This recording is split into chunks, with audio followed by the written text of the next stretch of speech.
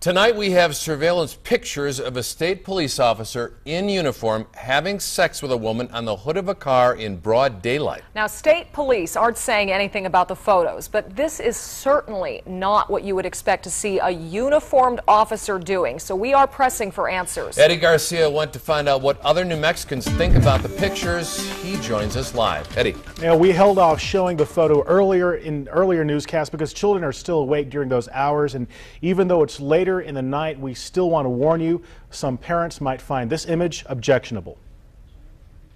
Two weeks ago, KOB Eyewitness News 4 told you about an officer caught on camera having sex while in full uniform, an act shown here on security camera at the Santa Fe Canyon Ranch. We've blurred out the woman's image, but you can see it's during the daylight hours and the officer is still wearing his utility belt. Today, the sheriff's office released the pictures to us after we filed a public records request.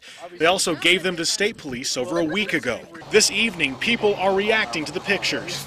Inappropriate use of time you ask Appropriate me. use of our tax money, if I had to say. I mean, we, we pay these guys. But with that kind of judgment, you don't want him carrying a weapon. Albert Loma says if charged and found guilty, the officer should be fired. Yeah, I think it's a, a, an embarrassment to the, the State Patrol. They should be ashamed. Others say it hurts the reputation built by good officers. I expect them to be the mark. Uh, state police should be the standard to which other police departments hold themselves to. We're working to find out who was on shift at the time these pictures were recorded. Right now, state police will not comment about the pictures or any internal investigation against an officer.